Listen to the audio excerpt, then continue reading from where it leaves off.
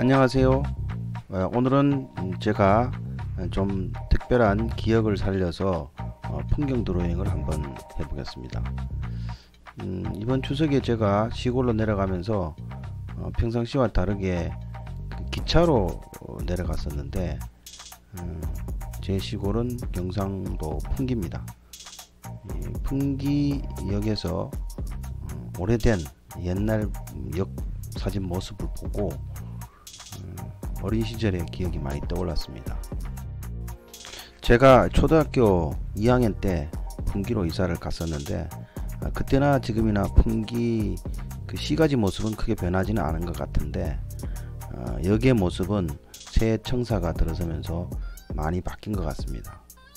어린 시절에 그 고등학교를 제가 안동으로 어, 다녔었는데 한 시간씩 기차를 타고 통학했던 기억과 어, 서울을 한번 오게 되면 기차를 타고 4시간 5시간씩 걸리면서 올라왔던 기억 그리고 그 서울에서 유학을 하다가 어, 가끔 그리고 명절 때 그 시골을 가게 되면 역사를 들어가면서 느꼈던 그런 고향역에 대한 그 애환이 좀 있었던 것 같습니다.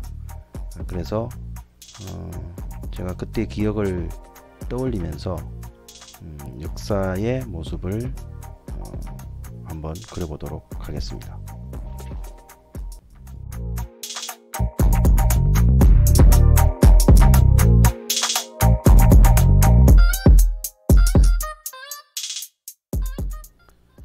어, 그리는 과정은 연필로 가볍게 스케치를 하고 어, 수채화로 어, 맑은 느낌을 내면서 채색을 하겠습니다.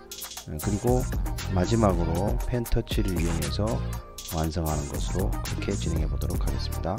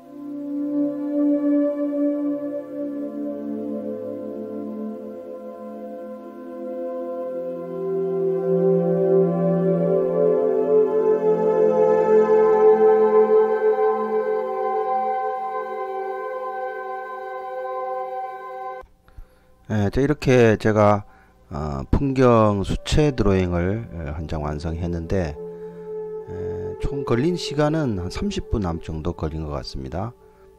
사진을 보면서 어, 옛 기억을 좀 살리려고 애를 썼고요. 어, 오래된 사진에 좀 빛을 발하게 되면 어, 푸른 빛이 많이 나게 되는데 어, 푸른 빛의 느낌 그리고 어, 그 풍기라는 곳이 소백산 바로 아래 에 있어서 바람이 많이 붑니다. 원 사진 상태에서도 보면 그 역사 주변의 나무들이 바람에 많이 흔들리는 모습으로 촬영이 됐습니다. 그런 느낌이 제가 좋아서 어, 바람에 날리는 그 버드나무 모습을 좀 살리려고 애를 썼었습니다. 그리고 그 종이는 어, 수채화 전용지입니다. 그 캔손 문발 수채 패드인데 300mg 어, 정도 되는 종입니다. 그리고 크기는 가로가 18.2 세로가 2.7cm 정도의 크기입니다. 덧그리기 할 때 쓴 펜은 후대 만년필입니다.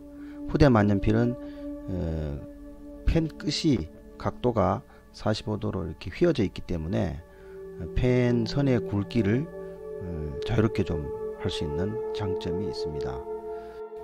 제가 다시 서울로 올라오는 날은 새벽 2시였는데 에, 벌써 그 코스모스가 핀 것을 확인했고요. 어, 올해 추석이 조금 일찍이었는데도 새벽 날씨가 쌀쌀한 그런 느낌이었습니다.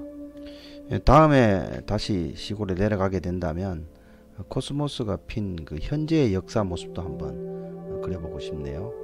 이번 그림이 재미있으셨다면 어, 추천과 구독 부탁드립니다. 감사합니다.